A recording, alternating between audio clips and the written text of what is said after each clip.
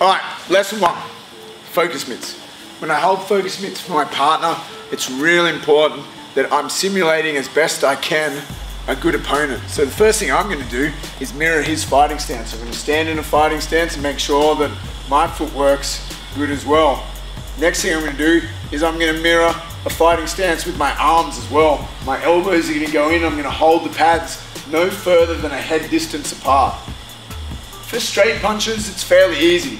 When Joey throws a jab, he's gonna hit the pad nice and strong here.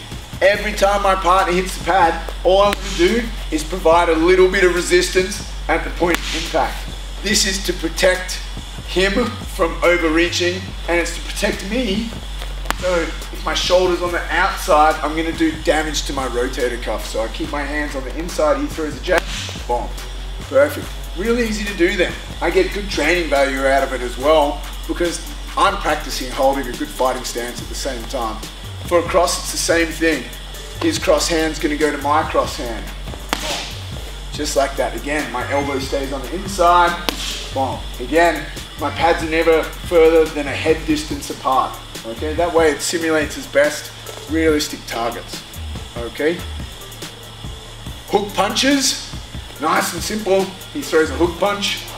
I'm gonna make a hook shape like the side of a head. Again, I pull the other one out of the road and I hit it with just the same amount of force that he's hitting me with. On the other side, hook punch again, make the correct shape. So if he was gonna throw a jab cross hook, it would look like this. One, turn.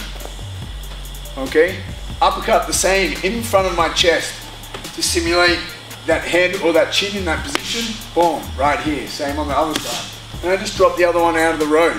So again, if you was gonna throw a jab cross uppercut, look like this. Okay? There's not too much going on there.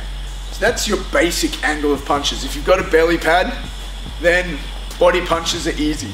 But because I'm not wearing one today, I'm gonna show you how I would hold them for a body rip. So if he's gonna throw a body rip, what I do is I like to pull my elbow out of the road because I don't want him to hit my elbow. I support the pad and now he rips in towards my body. Okay, I do the same thing on the other side for a rip, elbow out road. My elbow supports my wrist so I don't damage my wrist if I hold just my wrist here.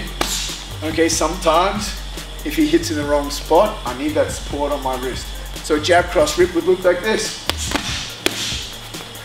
Okay, so there's a really simple lesson uh, for holding the focus mitts.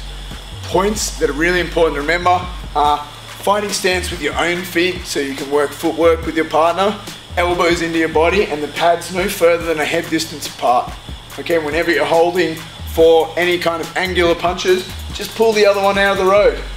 Okay, that way if you hold it to your chest, it's out of the road and it's not gonna get uh, in the way of any of their punches. Okay? Get to class, make sure you practice being a good partner.